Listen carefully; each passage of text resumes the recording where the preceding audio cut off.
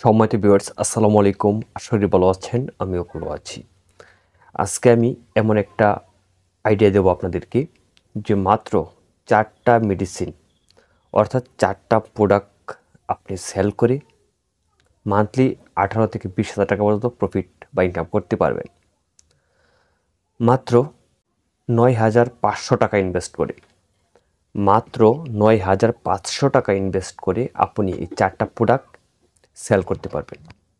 এবং নয় হাজার পাঁচশো টাকা ইনভেস্ট করে আপনি মান্থলি আঠারো থেকে বিশ হাজার টাকা পর্যন্ত ইনকাম করতে পারবেন। ভিউয়ার্স বিস্তারিত আমি এই ভিডিওতে প্রসেসগুলো বলব। আপনারা এই প্রোডাক্টগুলো কোথা থেকে কিনবেন এবং কত টাকা দিয়ে কিনবেন, এই প্রোডাক্টের পাইকারি রেট কত এবং মার্কেটে কীভাবে সেল করবেন এবং আপনার প্রফিটটা কীরকম হবে।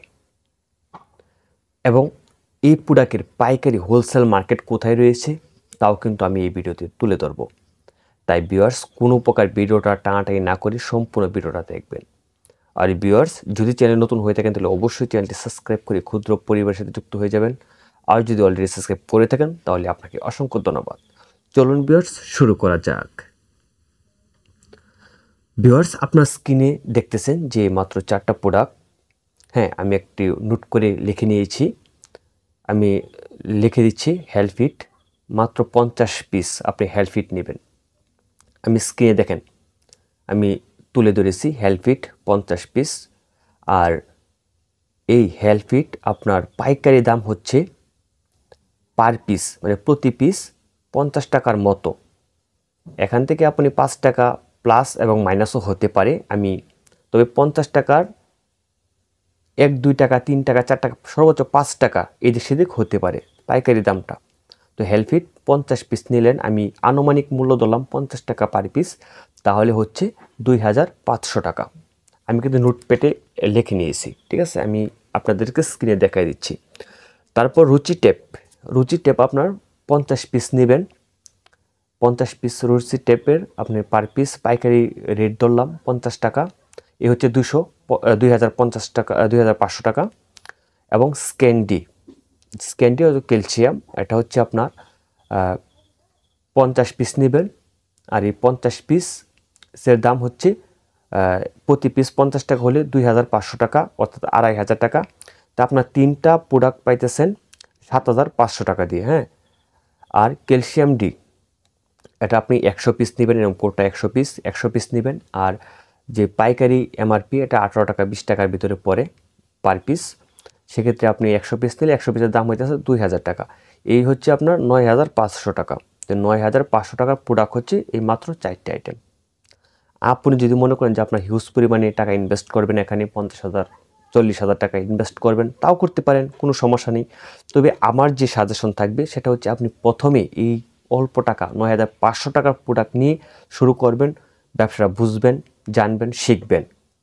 তারপরে যদি এখানে আপনি পঞ্চাশ লাখ টাকাও ইনভেস্ট করেন, তারপরেও কোনো সমস্যা হবে না। কিন্তু আগে আপনাকে প্রথম কী হতে হবে? বুঝতে হবে, জানতে হবে এবং শিখতে হবে।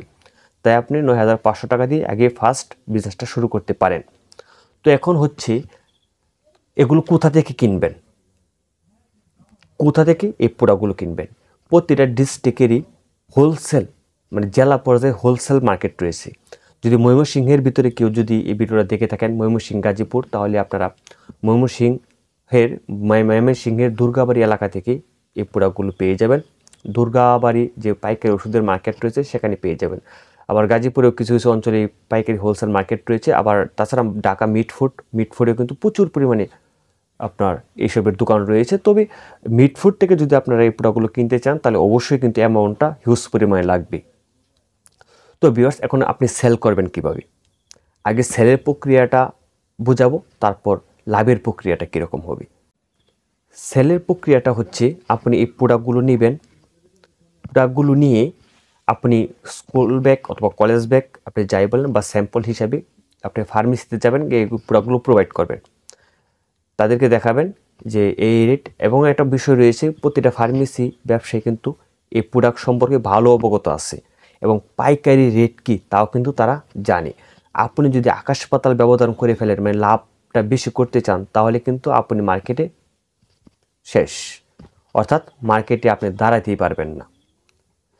আপনি এরকম একটা টেকনিক খাটাতে হবে যে তারা পার্শ্ববর্তী ফার্মেসি থেকে বা পার্শ্ববর্তী পাইকারি মার্কেট থেকে যে রেটে এই প্রোডাক্টগুলো কিনতেছে, আপনি সেই রেটেই তাদের কাছে বিক্রি করতে হবে। যদি আপনার আসলও যায় মানে লাভ না হোক তারপরেও এই রেটে বিক্রি করবেন। তবে অবশ্যই আপনাকে মার্কেট যাচাই করতে হবে। কারণ এই প্রোডাক্টগুলো একদম কমন প্রোডাক্ট প্রোডাক্ট এবং এই প্রোডাক্টগুলো সবাই এই প্রোডাক্টের দাম জানে, সেক্ষেত্রে এই প্রোডাক্টগুলো আপনাকে খুব হিসাব করে সেল করতে হবে। এটার সাথে যদি আপনি অন্য- একটা আনকমন প্রোডাক্ট ঢুকায় দেন, সেখানে যদি আপনি দশ টাকা বাড়তি লাভ করেন, তারপরেও কোনো সমস্যা হবে না। কিন্তু এই প্রোডাক্টের ক্ষেত্রে অবশ্যই আপনাকে হুঁশিয়ারি করে প্রোডাক্টগুলো সেল করতে হবে। তো মনে করেন, আপনি এই প্রোডাক্টগুলো এই ফার্মেসিতে এভাবে বিক্রি করবেন। কার্টুনে করে, ব্যাগে করে নিয়ে গিয়ে এগুলো বিক্রি করবেন। এখানে একটা খুবই সতর্ক হিসাব। আপনি যদি অর্ডার কেটে তারপর আবার মাল ডেলিভারি দেন, তাহলে কেরিং খরচ আপনার দুইবার হইতেছে। সেক্ষেত্রে আপনি প্রোডাক্ট বিক্রি করে আপনি পোষাতে পারবেন না। আপনার কেরিং খরচটা একটু বেশি হয়ে যাবে। সেক্ষেত্রে আপনি ক্যাশ অন ডেলিভারি আপনাকে করতে হবে। অর্থাৎ আপনি প্রোডাক্ট তাদেরকে দেখাবেন, পছন্দ হয়ে রাখবে, টাকা দিয়ে দিবে। মানে একবারই দুটো কাজ সেল এবং ডেলিভারি একসাথেই হবে ক্যাশ অন ডেলিভারি তো বিয়ার্স এখন হচ্ছে আপনার প্রফিটটা কেমন হবে? মনে করেন আপনি প্রতিটা প্রতিটা প্রোডাক্ট অর্থাৎ আপনি যেহেতু চারটা প্রোডাক্ট নিয়ে কাজ করতেছেন, প্রতিটা প্রোডাক্ট আপনি তিরিশ পিস করে সেল করবে, প্রতিটা আইটেম থেকে। তিরিশ পিস সেল করার কোনো ব্যাপার নাই এরকম দোকান রয়েছে যে এক দোকানে পাঁচটা, দশ পিস পাঁচ পিস রেখে দিবে, কারণ এগুলো কম দামি মাল।